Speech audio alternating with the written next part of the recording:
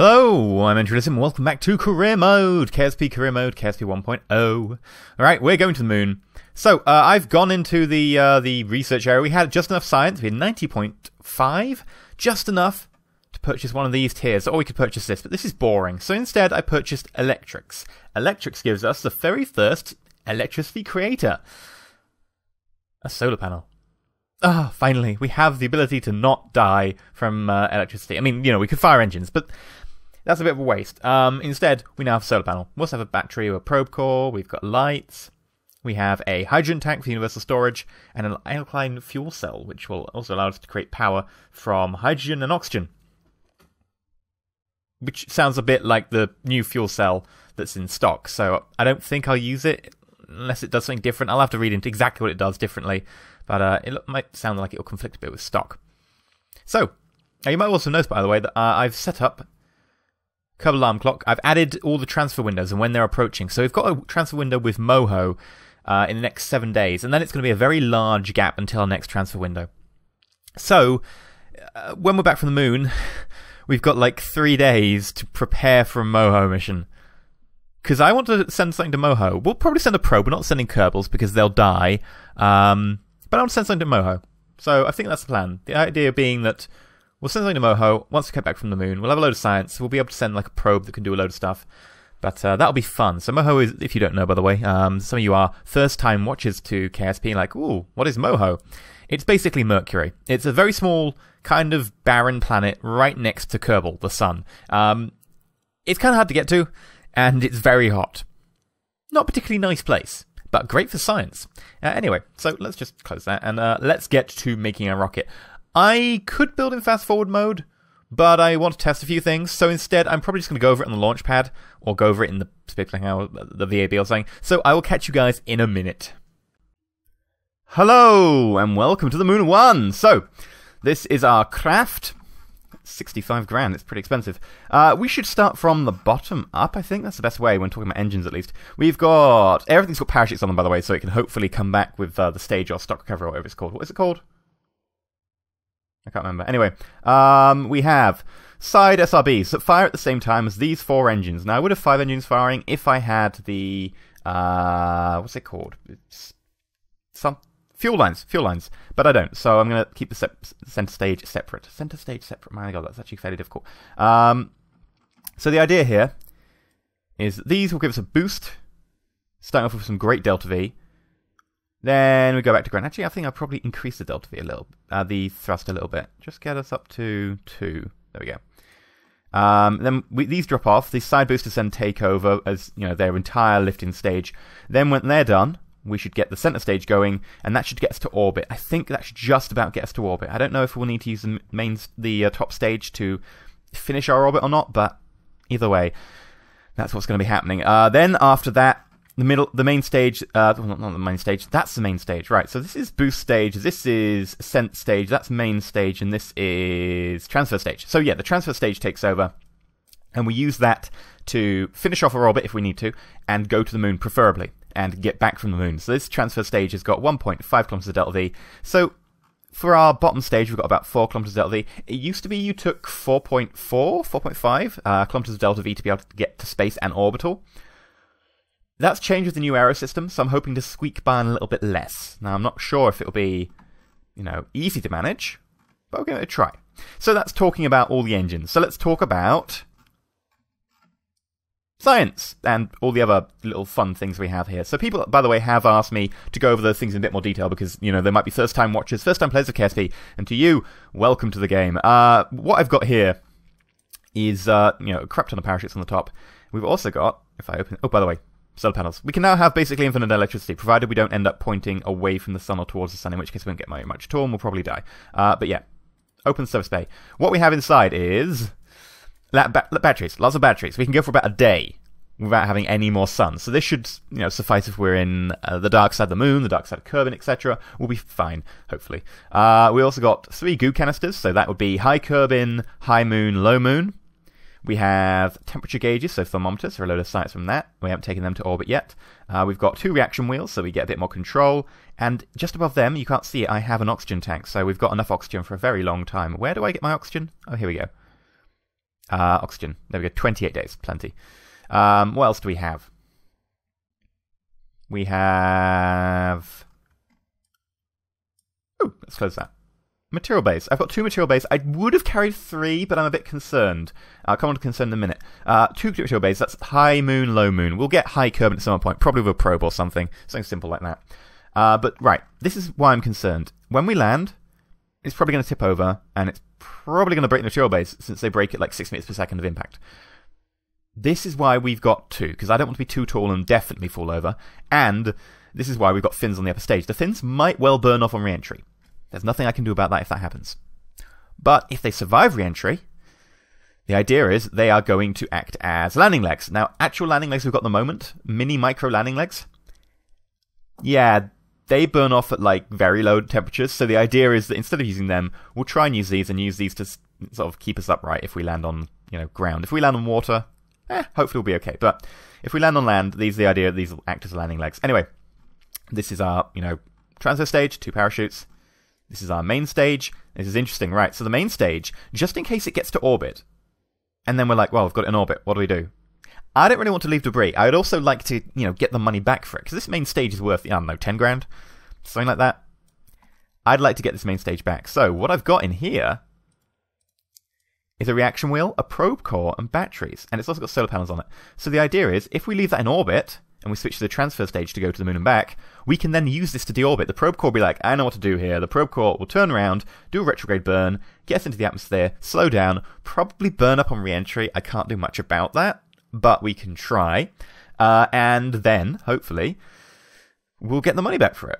But it's a little bit iffy. I don't think it's going to work, but I want to give it a try.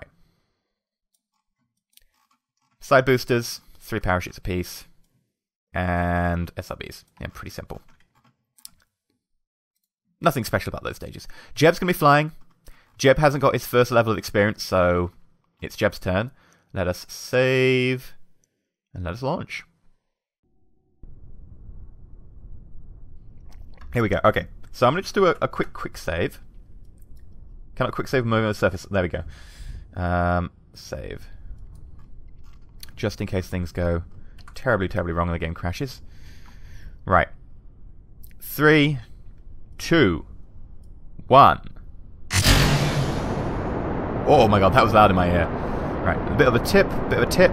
So these main engines on the bottom, all of these engines here are the ones that have got gimbaling, the 45s as opposed to the 90s. I want the gimbaling so that I can control her in the atmosphere. This upper stage, transfer stage, because it's a small stage and we'll be in space, I don't have to worry too much.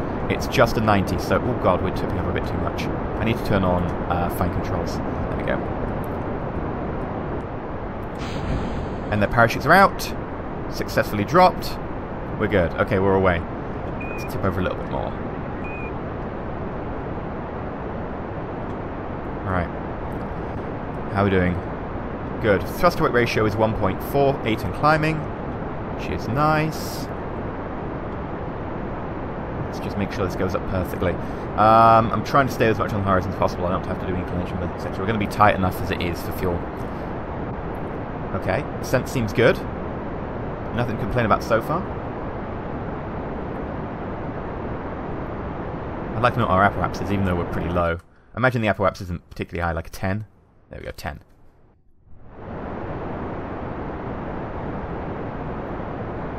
Right. Maybe a bit more tip. A little bit. Not a... Ooh, there we go. Not a lot. Not a lot. There we go. Okay. Come on. Come on. Gotta get this perfectly. I don't want to have to waste fuel doing correction burns. Oh, come on. Turn over. My god. This is a tough cookie. Oh god, oh god, oh, fight it, fight it, oh. It really doesn't want to sit on the, uh, on the equator. It doesn't want to sit on the 90 degrees. Right, apoaps, 18 kilometers, right, we can see our apoaps on the data now. And the camera's changed already to orbital? Oh, I must have hit the button. Yeah, let's go back to 3.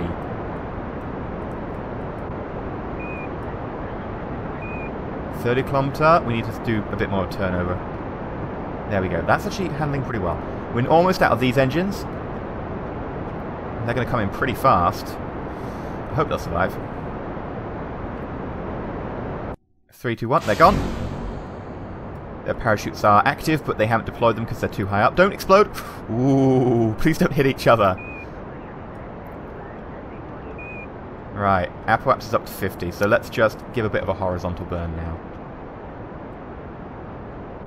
Bye-bye, parachutey things.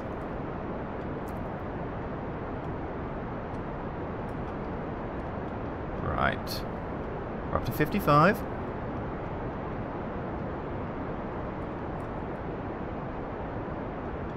Flying straight and true.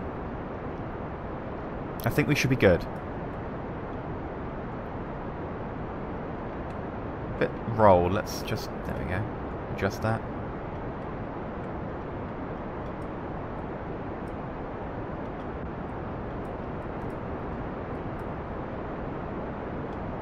Up to 60. Right, that's just a horizon burn then. Burning on the horizon. Come on, Jeb, you can do it. We can get you to the moon. Well, past the moon. Close. Close to the moon. Low orbit. Well, not orbital, but, you know, close to the moon anyway.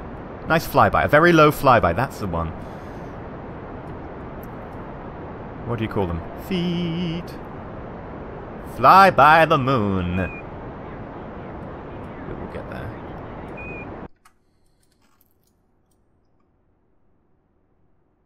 It's looking like a very good trajectory.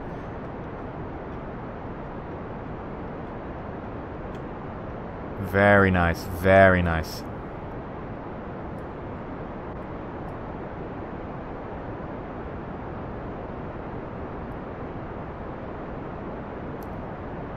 Okay, how much delta we got left? 30 seconds worth of burn.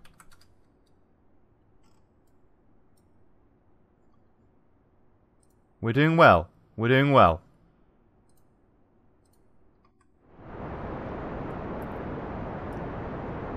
Twenty seconds left of burn. I think we'll just go for our apoaps and do our circulation at apoaps. We're nearly there. I'm going to go for 72 apoaps. Just give us a little bit of leeway. There we go, 72.2. We've got 200 meters per second remaining of delta V. Uh, you know, that's almost enough to circularize. I don't think it will be, but it's close. It's close. That's what matters. Alright, so physics warp because we're in atmosphere.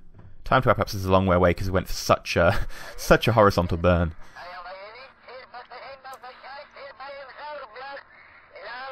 Hmm.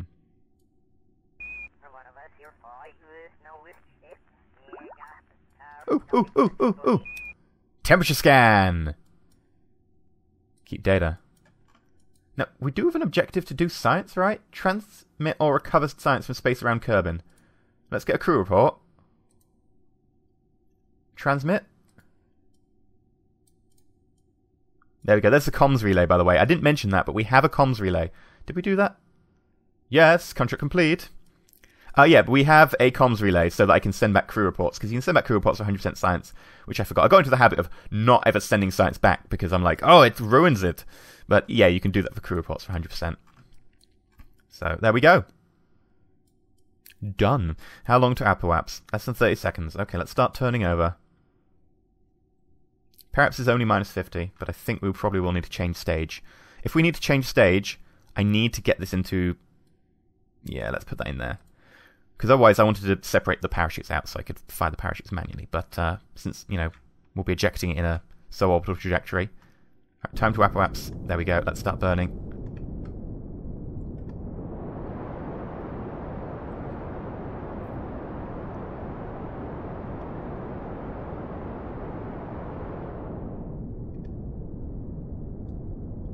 Here we go. There we go. Uh, 76 by 71. I wasn't paying that much attention to it. We're good, which means that I can now keep this booster in orbit. It probably will burn upon the way back, but you never know. And I can fire off. And we can do our transfer burn. Excellent. So where is the moon? The moon is over there. I need to burn when the moon is on the horizon. That's the rule. I need to burn when the moon is on the horizon. And we should be good.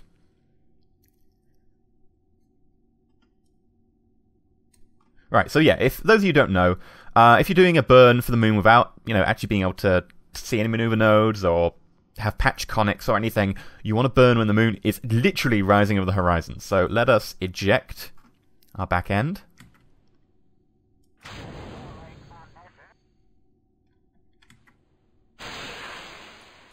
Okay. Bye bye, back end. And let's do some speeding up.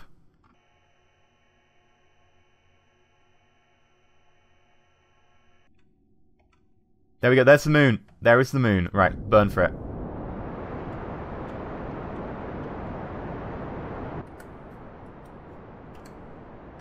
Show me how we're doing. We need to burn a little bit up. A bit more up. Come on, we got this, we got this, we got this. How much V are we using? Quite a lot. I can close Kerbal Alarm Clock, by the way. By the way, I've, I put in menu, I, the launch windows, transfer windows, that's the one. I put in transfer windows for all the planets into uh, Kerbal Alarm Clock. So we'll be able to know when it's best time to transfer. Moho's coming up in seven days, which is why I'm desperate to do this now.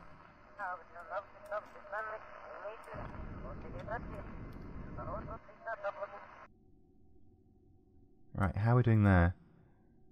We're above our target, and that's going to result in some really kind of weird issues. So I'm going to try and do a inclination burn.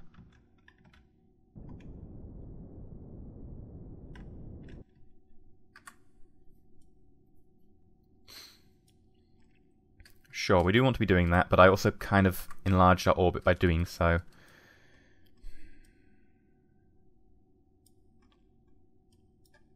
Probably there. I need to do a burn.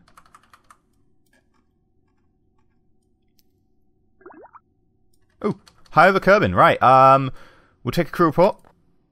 You are really are you really are as high as a kite, Rocket Man. Maybe higher. Uh, let us transmit that. Hundred percent. Yeah. Material study. No, I want to keep material study for low and high over moon. Reset the experiment. And we'll take the mystery goo and the temperature scan. Did I get temperature? No.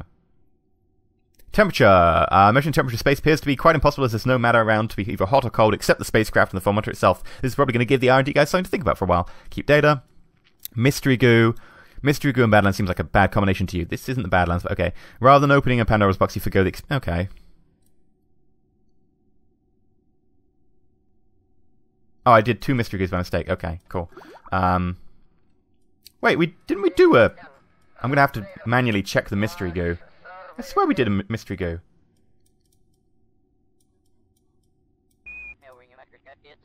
Oh, okay. I can always reset one later. Yeah, we'll keep it.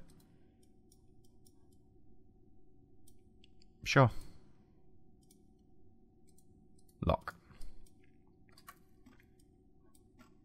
Alright, let's do a little bit of a burn, just to try and crack this horrible, horrible inclination. There we go. And then we need to sort out the ridiculous, uh, you know, shooting past it. So that's probably a, a retrograde burn? Yeah, I'm feeling the retrograde burn. Come on, over there to the retrograde marker. I see you. Come here.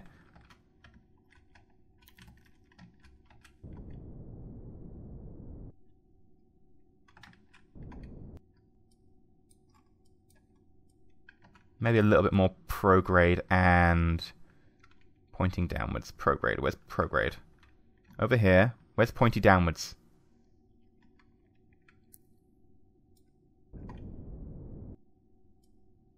We're going to call it there. I'm going to call that orbit good enough, and we're going to do some time warping. So let us advance.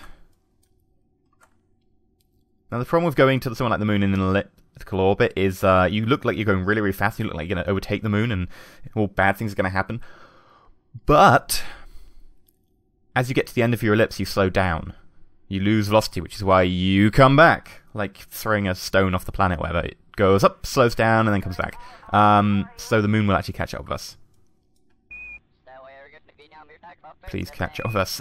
I get really, really concerned when I can't see patch conics. I'm so used to them. Oh, this is looking actually really good. I think we're going to hit. I think we're going to hit. what did I tell you? Such a good trajectory. I, I, think we'd have been fine with our first burn, but the inclination would have been worse. Alright, where are we pointing at the moment? I want to do my burn quickly. I'll do the science afterwards. Uh, I want to burn down a little bit, and I definitely want to burn radial a little bit. So, that.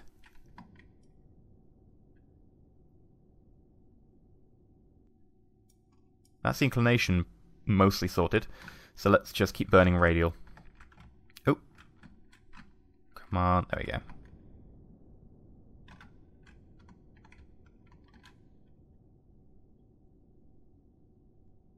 Periaps is minus 100, minus 90,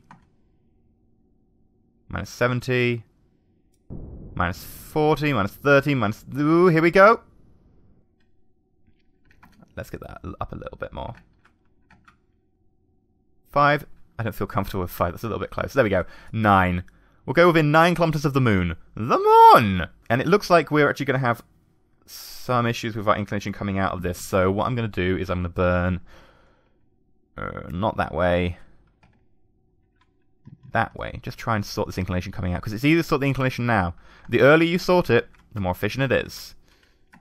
But we're going to call it there for this episode. I know we've been going into it in quite a lot of detail, not much skipping forwards. That's because a lot of uh, new people watching this, getting into KS for the first time, might want to see the extra details. So I'm sorry about those of you who, you know, know all about getting to the moon, etc.